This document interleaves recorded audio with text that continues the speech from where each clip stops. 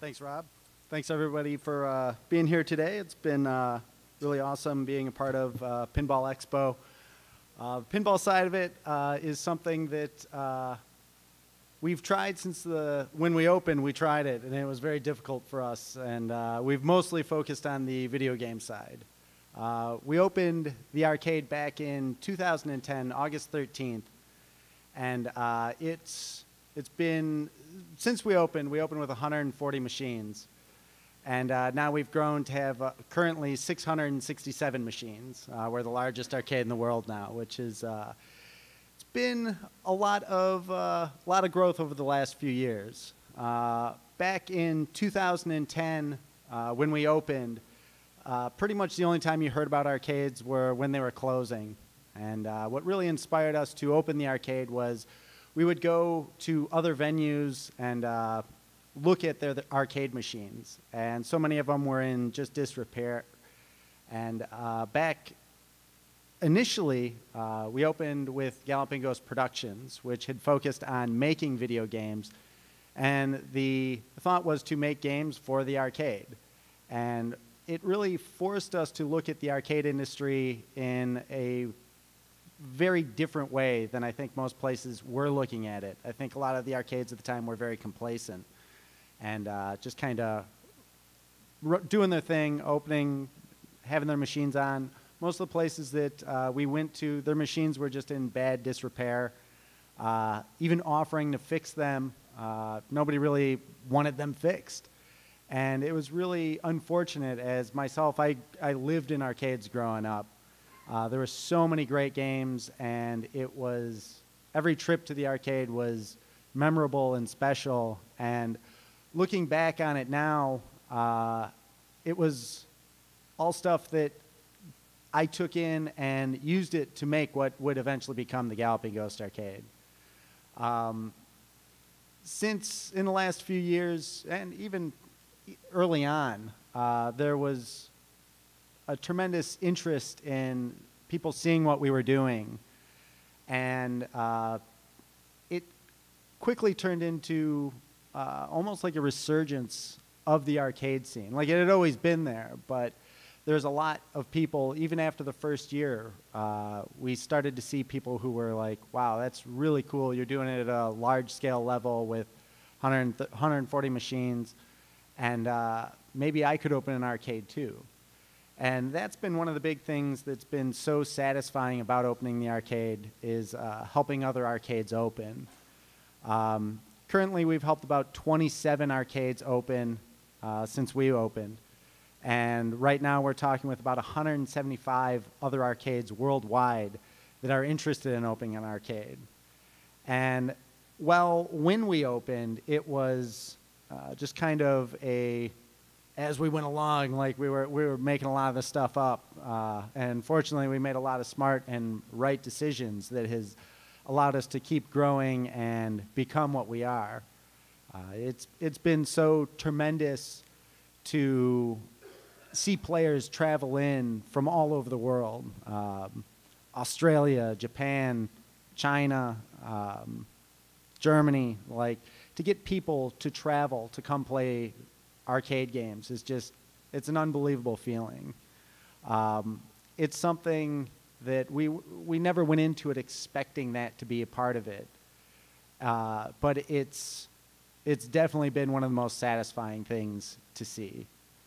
Uh, we've had just to be able to watch from all aspects that, that we have. Uh, like we, we do so many events at the arcade, and so, so many of them involve industry people. Um, I remember the first time we had the actors from Mortal Kombat to the arcade, and the first time we had Jeff Lee to the arcade, the creator of Q*bert, and that letting players see the industry people and help uh, generate a deeper interest in not just um, the games themselves, but the people that worked on them, and it the way that people have reacted to it has just been unbelievable.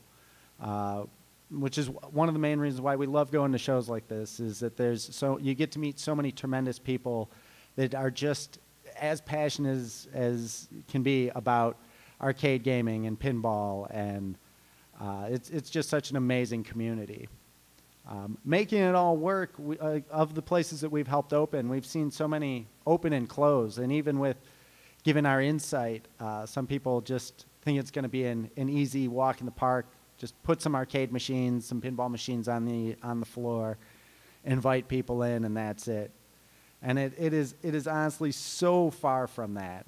Uh, it is just a tremendous amount of work. It's for me, it's seven days a week and I wouldn't wouldn't change a minute of it. Uh, I love being at the arcade. I love fixing machines, bringing them back to life. So it's uh, just an absolutely tremendous feeling to be able to take a game that people have never, in most cases, a lot of them people have never even seen or heard of before, and present them in a way uh, that everybody they do. They travel from all over to come and enjoy them.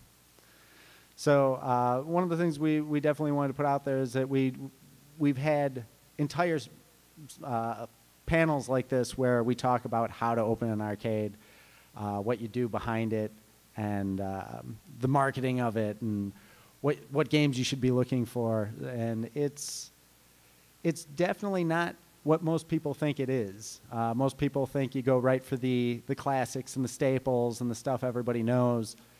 Uh, and those are the stuff they.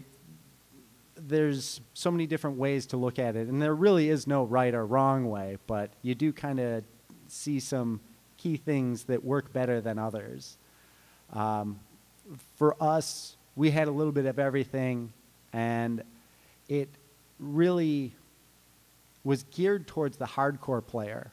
Uh, so many arcades look at it and they decide, oh, I want to be a place for kids, and they go with redemption games and a mix of arcade or video games and redemption, or they want to go with more um, an older crowd and have alcohol. And for us, we always looked at it as uh, the casual player and the hardcore player. And the casual player, there's an abundance of them. They're everywhere. Uh, everybody will play video games, but we wanted to go after people that wanted, would travel the, the people that were just so in love with these games that they would jump on a plane and fly from halfway around the world. And talking with so many people that actually operated arcades and the people who designed these games and everything, it was such a. Uh, we were told out of the box, like, oh, this is, this is not going to work, not in today's day and age. And most people were, were giving us only a few months uh, I remember talking with Larry DeMar, and the first time he had come in, and he's like, "Oh, you you seem really passionate about this, but I, I just don't see this working. I don't think that people are going to keep coming here." And it was it was a crushing thing. Like Larry had worked on so many amazing games, and it it was kind of uh, to me that was the one time I was like, "Wow, would this ever not work?" And I I was confident that it would because I knew how I couldn't find any place to, to play arcade games. So I thought there's got to be other people like me that they're going to just love this. They're going to eat it up. Um, and it, it turned out to be, it, it, it worked. It, uh, we opened, um, again, back when we opened, we had, we were successful right out of the box. Um, we were profitable after about eight months. Um, now we pull about 80,000 people a year to the arcade. And uh, with every expansion, it, it just keeps growing and growing. And again, it's, it's so much attributed to the passion of the people that, are, that love these games. And at the Galloping Ghost Arcade, because we look at it from the, the hardcore standpoint, and with that, that brings taking players into account and taking what the players' desires and wants and, and needs are at such a, a high level and the industry people and wanting to show off and give the history of it. We've really grown into the position of uh, where we kind of usher people through the, the journey of arcade gaming, and it's it's uh, that it's really kind of the total package, and that's the one big difference I think between us and so many of the other arcades is that uh, it's still like every game is important, every player is important, every developer is important, and to showcase that at a high level is what has really made it successful and continue to grow. Um, within the arcade, also, I have a, just a rabid compulsion and I should probably go get some uh, psychological help for my collecting addiction, which everybody seems to. I hide it amongst it's a business, but uh, it's it in itself continuously putting new games on the arcade floor has been um, such a tremendous draw to get people to come out and see the newest games. And as people have found out about us and decided that so many people within the community have tried to help us grow. Uh, again, especially industry people, uh, getting creators to come in and uh, work on projects that people never even got to see. Most recently, uh, with Galloping Ghost Productions, we teamed up with Brian Colin, who was the guy behind Rampage, and he did the art for Spy Hunter and Xenophobe, Arch Rivals, Pigskin. He worked on all these great games. And uh, he had worked on a game back in 1984. It was supposed to be a Laserdisc game. And it was, they had filmed it. They, it was supposed to be a B horror movie spoof, uh, a lot of uh, tongue in cheek jokes, a lot of puns. And uh, they filmed it all and then promptly canceled his game uh, due to another project that didn't go over so well. And they were like, this is never going to earn us money, so they scrapped the game. Um, we were able to, we had Brian out for an event, and he just started talking about this game called Spectre Files. And uh, I, I just could not believe what I was hearing. Uh, he showed me a video online of the, the trailer that he had made 15 years ago for it with this lost title. Um, and it looked like a really interesting game. And the collector side of me was like, wow, that, what if, what if I, I it's unfortunate that nobody ever got to play this. So I really kept pushing him and being like, what do you, what do you remember about this game? And after 20 some years, it's 1984, so longer than that, um, he didn't remember much. And he's, he one day was like, after talking about bringing it up four or five times to him, he's like, you know, may, I might have the video, the 16 millimeter film still somewhere. And I'm like, well, what if, what if we do this? If uh, you find that, we'll team up with Galloping Ghost Productions and we'll, we'll finish this game after 30 plus years. And not really thinking about it, he was like, yeah, sure. And uh, couple of weeks later, I get a phone call, and he's like, you know, I was out in the garage, and I actually found that video. And he's like, I don't know if there's, it's the, it's tins, it's all these tins of 16 millimeter film. I don't know if it's any good, uh, but we can go have it looked at. And uh, it, it, we just progressed with it. And after about eight months, uh, everything lined up. And uh, now we, we actually have it here. We have Spectre Files, the Death Stalkers, unfinished game from 1984 that's now been completed. And uh, it's, we've had it on the arcade floor. We put it out uh, last Halloween. And uh, the response to it has just been tremendous. And it was a game, back in the day, it, it never would have earned money and would not have been, it might have been well received because it's, a, it's, it's funny. You can see Brian's humor throughout the game.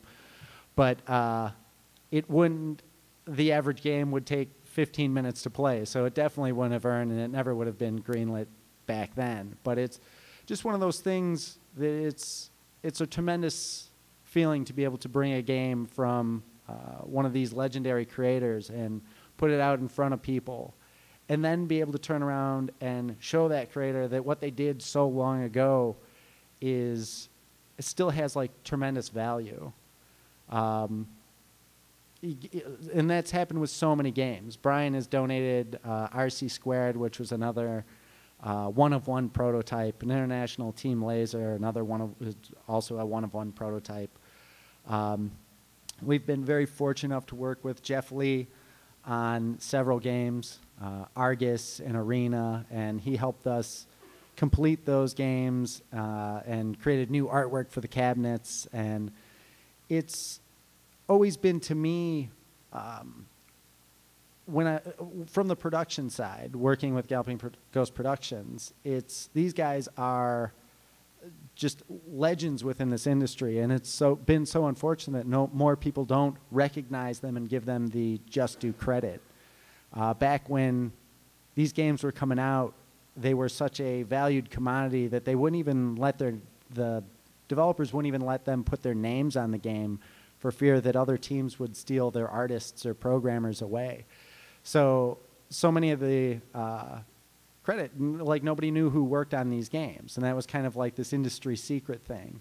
And the detrimental thing is it kept the artists from ever really getting their just just due accolades, and that's one of the most satisfying things for me is to promote the industry people and uh, finally make them household names after all these years for their creations that 30 years ago every all of us here had been playing these games and enjoying them and getting uh, that's what, what, what most of us did. And 30 years later, I see those same people bringing their kids into the arcade and perpetuating the whole cycle. And these games really are timeless.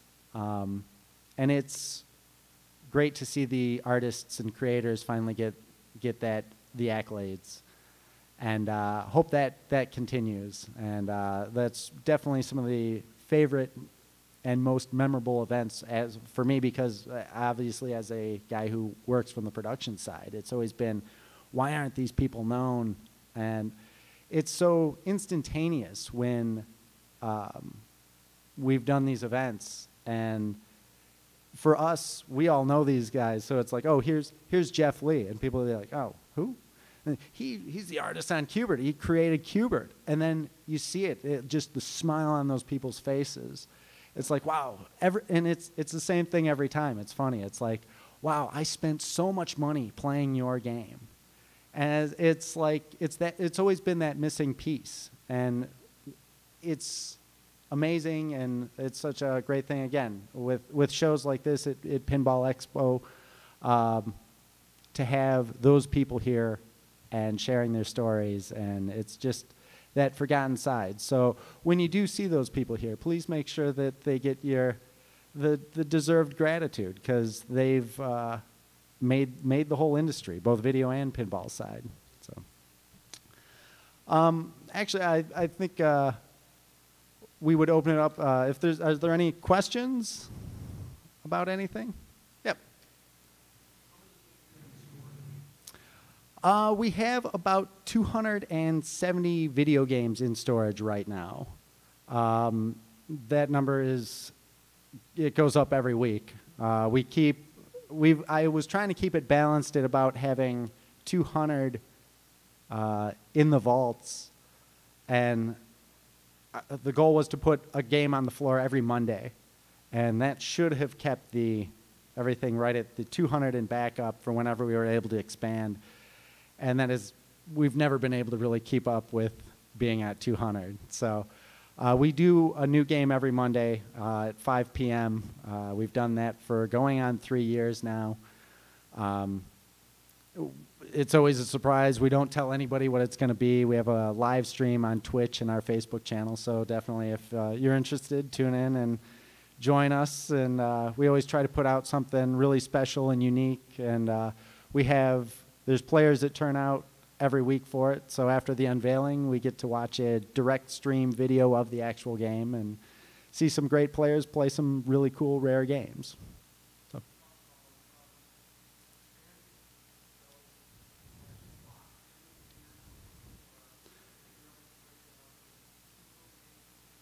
We, we've actually, and one of the big things that we want to announce is uh, we are expanding right now. Um, we are, we just knocked down the wall into our fourth building.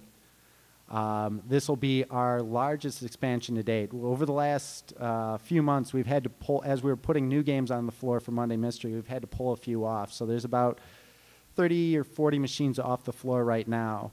And those will all be coming back with the expansion. Uh, we should have room for about 200 and around 220 more games in that new building. Uh, so we'll be creeping up on a thousand. Probably won't make it with this expansion, but there is two more. There's technically four more expansions that we can do in that building. We'll have the entire block, um, which we'll, we would probably, as we get them, we'll fill it pretty quickly. Uh, we've already been in talks about putting on a second floor. Um, and at that point, we should be all right, I would hope. Uh, it, it's definitely getting harder and harder to find games to purchase just because there's, there's so many that we have in storage. And uh, so we, we should be good for a while. And very excited for the new expansion. And if we're going to be making uh, a big event out of that, um, it'll definitely be. We have a big Mortal Kombat event called Shang Tsung's Fight Night, where we have uh, a lot of the actors from the original three Mortal Kombat games coming out. So we definitely want to invite everybody to that. Um, they'll be signing autographs and taking pictures, and that's our annual event that we run. And uh, it will be in the expansion area, all the signings and everything. And then um, once that's done, we'll do our readjustment of the arcade floor. We want to make it a little bit more comfortable for everybody. So there'll be everything is getting going to get switched around and uh, make a little bit more space within the aisles and everything. So, but um, we have thought about doing second locations before. Um, it would be difficult uh, for us. We always we always want to outdo ourselves, and uh, it would be difficult to outdo that collection of games. Um, we've had requests, open one in California, open one in New York, and um, that would be cool. But I don't I don't feel this one's done yet. So until then, we'll probably stay where we are. Uh, and again, continue to help all these other arcades open. So, but it is something we think about. They definitely wouldn't. Uh, there is, there's probably around 21 of one games. Um, we've got, uh, there's a arcade tracker called Aurcade.com, and we purchased them about going on a little over a year ago now. Um, we've got about four, uh, well, I would say at least 200 machines that we're the only arcade that has them worldwide that's according to this tracker. And we've tried to be pretty thorough. Uh, obviously, there's arcades that don't list their machines, but uh, there's definitely a lot of unique games there. Um, and that's just been from importing games from Japan and, uh, again, talking to the developers and everything. So it would be hard to replicate, but it eventually it might be fun to try.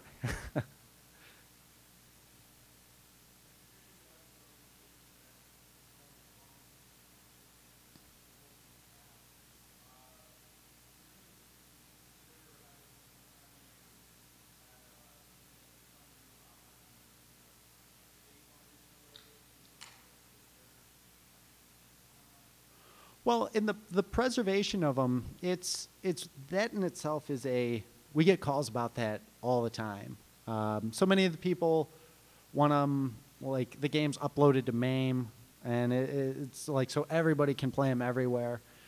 And a lot of that isn't when we get the games. Uh, we usually leave that up to the source that we get them from. Um, we make sure that everything is preserved we recently opened uh, up Galloping Ghost Reproductions, which focuses on reproducing um, arcade and pinball artwork. Uh, so we, we meticulously scan everything and get all the um, er, exact color values and make sure that the game is as preserved as possible. Uh, stuff like backing up the RAM or the, the ROMs and everything, that's simple enough to do. Um, depending on the game itself, like um, the game Arena, an amazing Gottlieb game. Um, while the ROMs are specific, uh, the board is a pretty much standard Gottlieb board. So once the ROMs have been preserved, even if that board uh, was damaged, we could recreate it. Um, so preservation is definitely very important. Not necessarily as much as making it publicly playable, um, in which we have done, but like it's it, preservation is key, and just because we never know what is going to happen to any of these boards, so it's uh, self-preservation as well, as we want to keep them available to uh, everybody to enjoy at the arcade. So.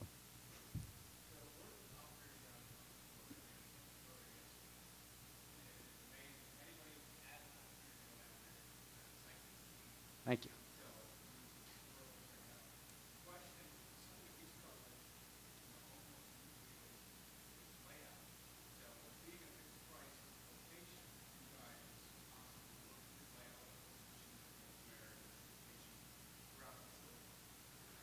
Honestly, no. Um, there's several machines that have not changed their location in eight years.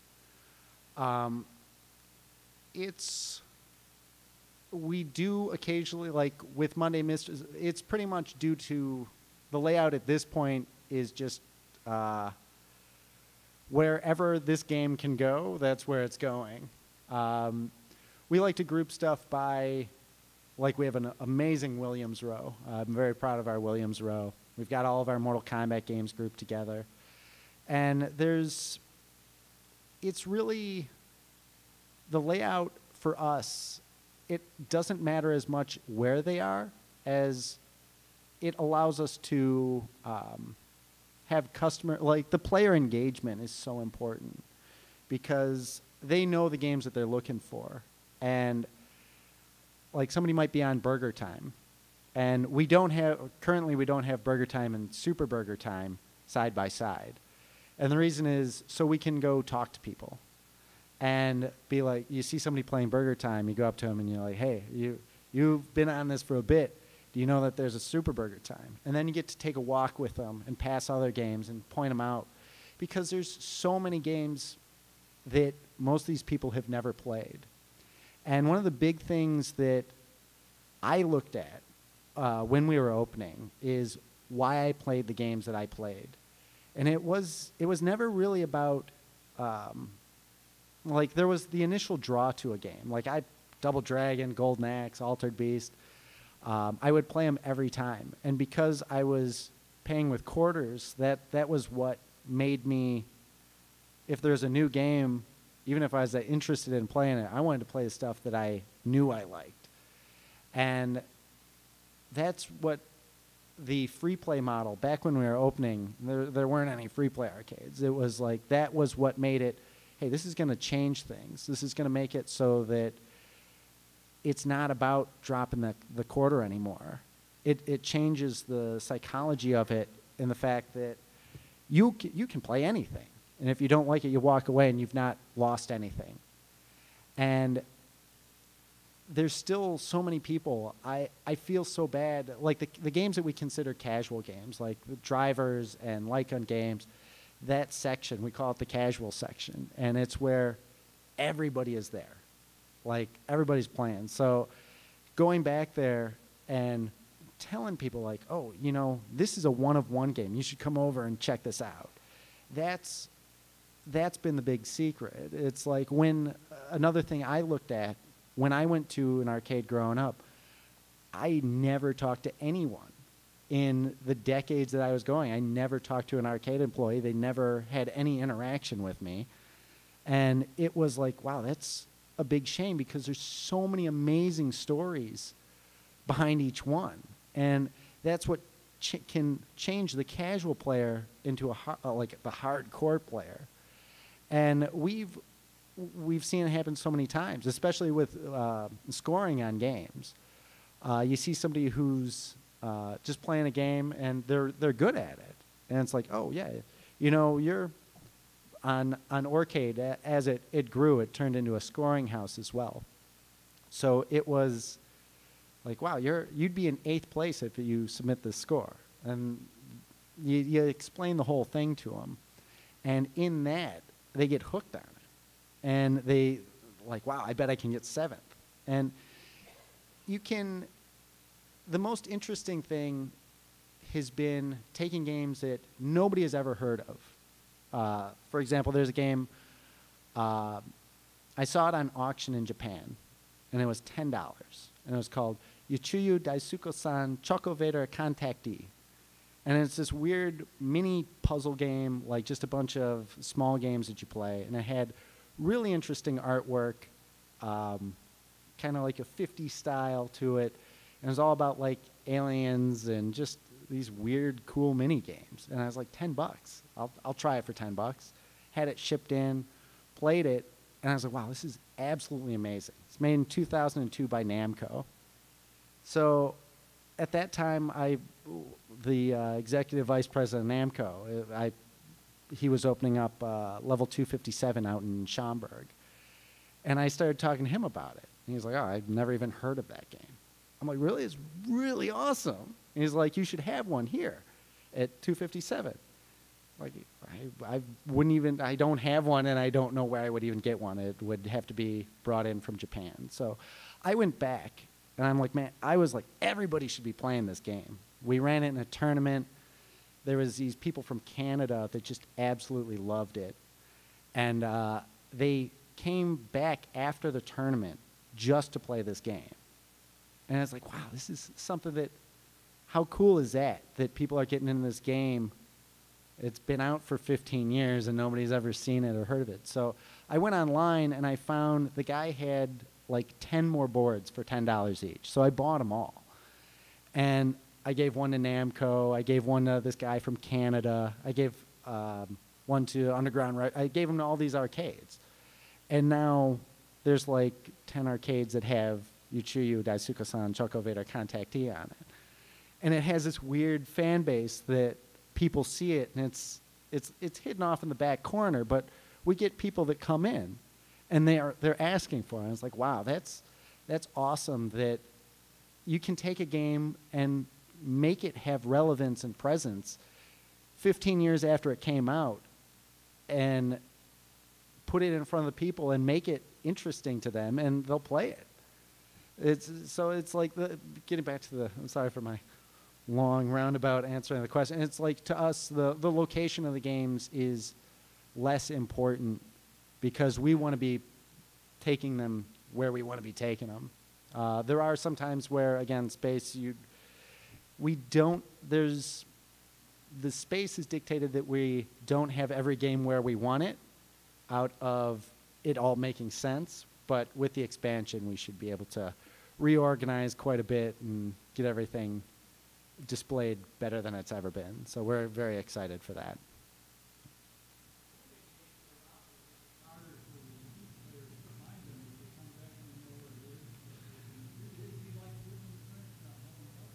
It's we have our regulars.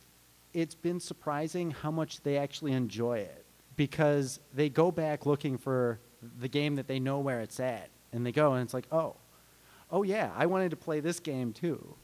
And it's same thing. It, they end up asking where it is. Sometimes, especially with um, most of the regulars are all there on Monday, and they play whatever the last game was, and they play the new game.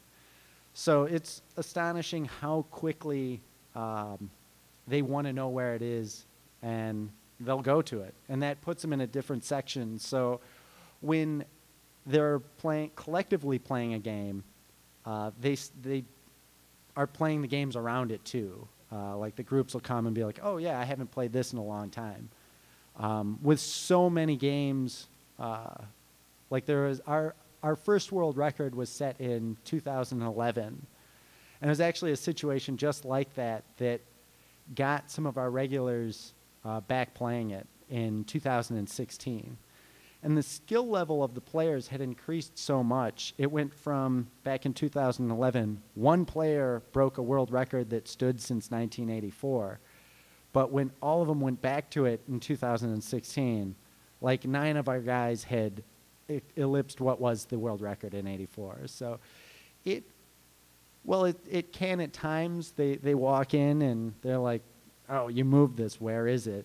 Um, it it's never that much of an issue, and in more most instances, it's a, a benefit to them. So.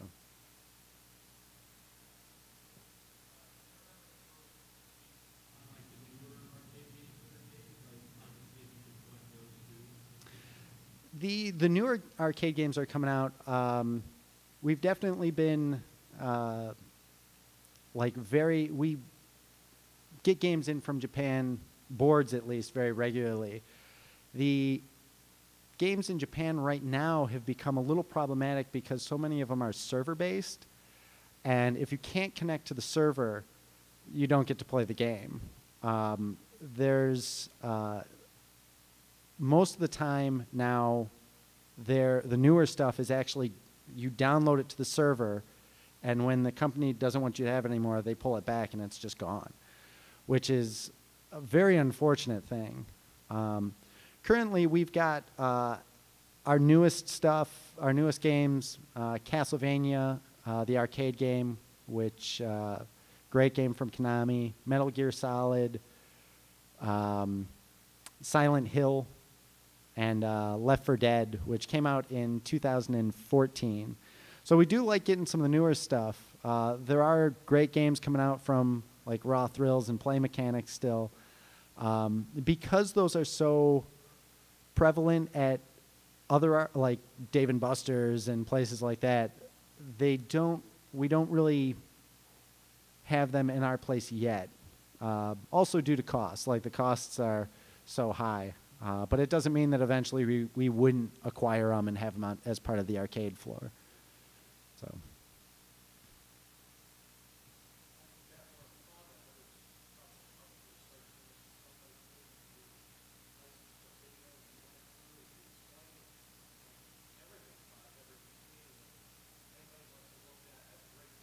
Oh, was that uh, John's Arcade?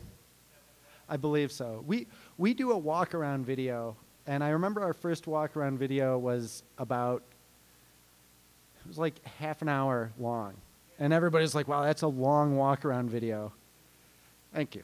Our our last full walk around video was about it was like over two hours, and after this next expansion, it'll probably be a three and a half hour. And I, I prattle on and on about this stuff, so it's like I've each cabinet I remember where I got it. And so I, I love the stuff, and I, I understand that people fast forward through a lot of it.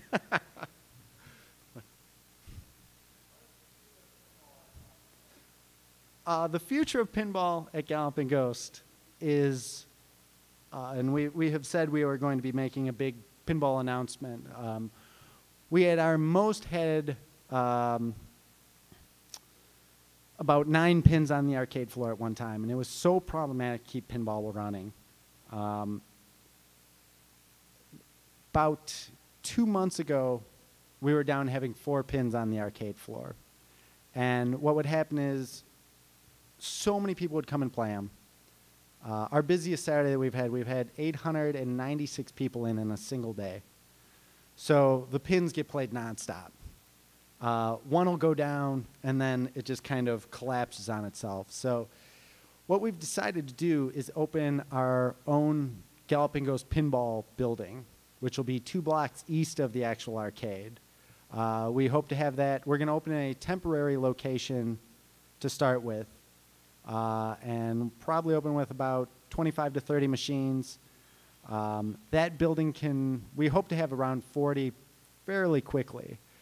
But uh, we've been pretty selective what, with what we've got, and we will be making on Monday. We're going to be showing and making the official announcement of what machines we have uh, already, and let everybody know what we're going to be getting as well. So, well, we might not be uh, with the the video game side, where we are the largest arcade in the world, and we might not be that with with pinball, but we hope to be running a ton of really cool tournaments. We hope to have a lot of industry people out and uh, do pretty much the same thing that we did with video games with pinball. So we thought this was an excellent place to, to officially announce it.